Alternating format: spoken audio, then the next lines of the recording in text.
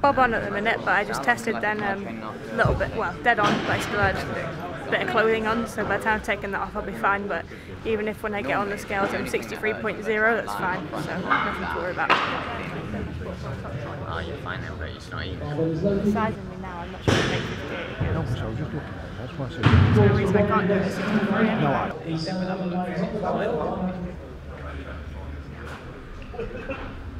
I. I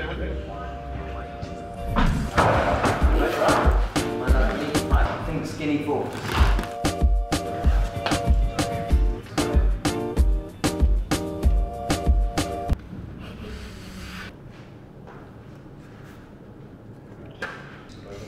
The extra pressure of you filming this is.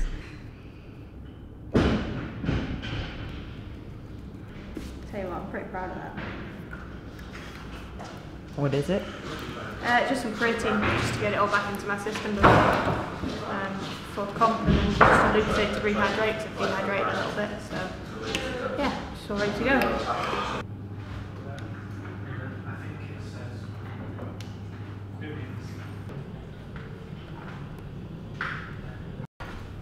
Amy, Amy.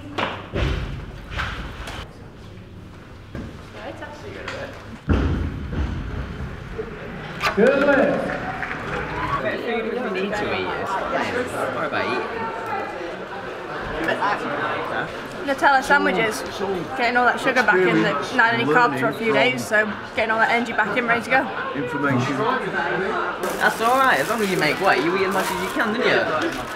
So yeah, and then diet started yesterday really, so I'm not counting that as a diet day. That's good. Just a starvation day, was it? And then she got here a few hours ago, got on the test scales and was 63 dead. You can't argue with that. It's a perfect weighing. sip of water just to keep yourself ticking over. So we're here at the British Championships, which is our final Olympic qualifying event. Walking up to the platform, it's just a case of I walk across, get my chalk, um, take in the atmosphere, what's going around, because obviously there's a lot of noise from the audience, things like that.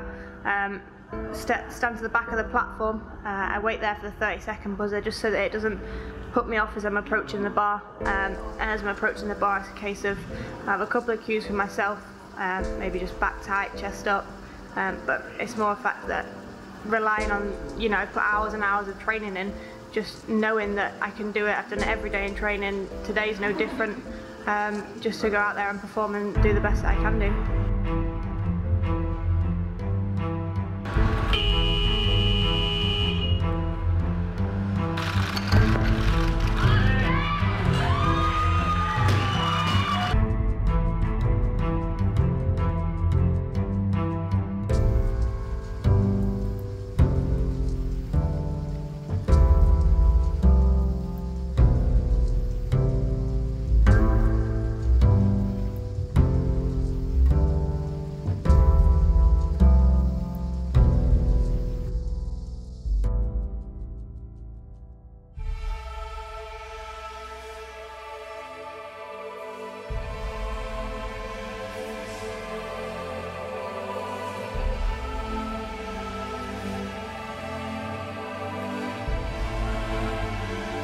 One hundred and sixteen kilos for the first attempt is Sarah Davies.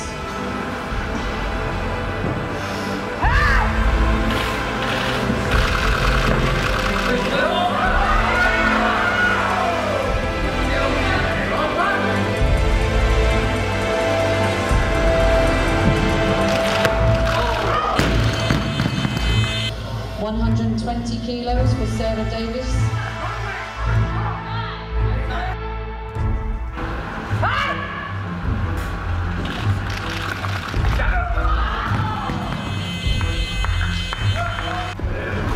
Only started lifting like the back end of my first year at uni. I snatched the best I've ever snatched, regardless of in competition or out of competition. PB snatch in competition, you know, to, I had a bit of a mental block with 90 kilos, so to have 91 on the bar, get it, and then have a pretty decent crack at 93, you know, I'm happy with that. Um, had to do the 120 to get my 211 Olympic qualifier. If I'd have gone for 16 again, yeah, I might have got it. But it wasn't worth that risk. You know, with the Olympic Games on the cards, especially after you know what happened to Zoe unfortunately out of injury, um, I had to go for it. You know, if I if I hadn't put it on the bar, I'd have left with a lot of regret. But I put it on the bar, gave it a good go, and I can't have done better than that really. So. Um, so yeah, the last six months have been a little bit of a roller coaster for me. Um, started off at the English Champs back at the back end of January. Um, wasn't a great competition. Didn't make total there. Um, you know, I had a lot to go for there. It was a case of again putting the weight on the bar to try and beat um, some of the best lifters in the 63 category, so that I didn't have to move down a category. Um, unfortunately, that didn't happen. so I went to the European 58 kilo lifter, so I had to lose kind of six, seven kilos, which um, you know I sit quite lean anyway um, as a 63 lifter. So I lost a little bit of muscle mass going into that, and um, my performance was okay at the Europeans. I was I was satisfied with it. I would say I was happy with it. Um, I think coming into the British Championships, I guess going back to the 63 kilo category, I didn't quite have that time to fill the body weight back out to gain the muscle mass the same. Um, yeah, and today it was a case of put it on the bar. You know, there was no point me you know, being soft with it, I had to get that 120. Um, that was my Olympic qualifying total, and if I hadn't got that today, then I would have left pretty disappointed that I hadn't even given myself the chance. So it was a case of giving myself the chance to do it, um, just so that I, you know, left that satisfaction. Um, I've only been in the sport for what four and a half years, so to even be in the, the chance of going to the Olympics, and I gave it a crack and go, but it just just wasn't my day, so can't complain. Yeah, weightlifting's, you know, it's a, it is a sport of up and downs and it's a case of you're only in control of what you can do on the day. You can't, um, you can't control what everyone else is doing. It's not like, you know, on a football field, on a rugby pitch, you know, there's, there's tactics you can play. It's you're as strong as you're on the day and they're as strong as they are on the day and it's whoever comes out on top and you know, it is it is an addictive sport really because you, you always want that extra kilo, you always want that little bit more, you always want to beat that person. So,